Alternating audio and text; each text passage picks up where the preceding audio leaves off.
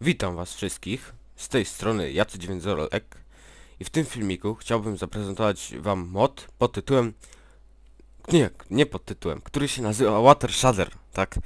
I zaraz wam pokażę, dobra już widzieliście chyba po co to jest. Link macie w opisie do tego moda. Nagrywam ten film, aby pokazać wam tego moda, bo on zrobił na mnie naprawdę ogromne wrażenie i chcę wa z wami się podzielić tą informacją bo jest to naprawdę fajny mod, fajnie yy, poprawia grafikę gry, jak można zauważyć. Jest masakra, fajnie się wszystko tak odbija, nie?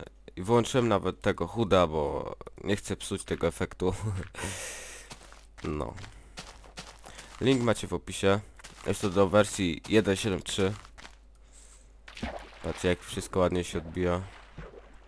Ale niestety jest to trochę FPS-o-żerny mod, gdyż... No gdyż tak, bo... Mam ustawione na... Na mgłę, że mam mgłę.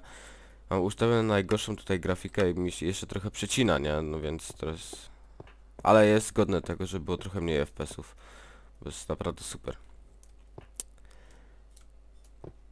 To jest taka refleksja wody, nie wiem jak to się nazywa, fajnie się odbija, no. Wszystko ładnie, woda przejrzysta. Teraz będziecie wszystkie kałamarnice widzieć pod wodą. Ale masakra. Jeszcze taki porządny tekstur, HD tekstur pack się ściągnie i... I jest fajna gra, ale to już do mocniejszych PC-ów jest potrzebne. Mocniejsze, mo- mocniejsze PC-ty są potrzebne do takich modów. Ale mega, mówię wam. Więc jeżeli wam się podobało, że wam pokazałem ten mod, który już jest bardzo znany w świecie Minecrafta, to subskrybujcie, komentujcie, zapraszajcie, oceniajcie, peace.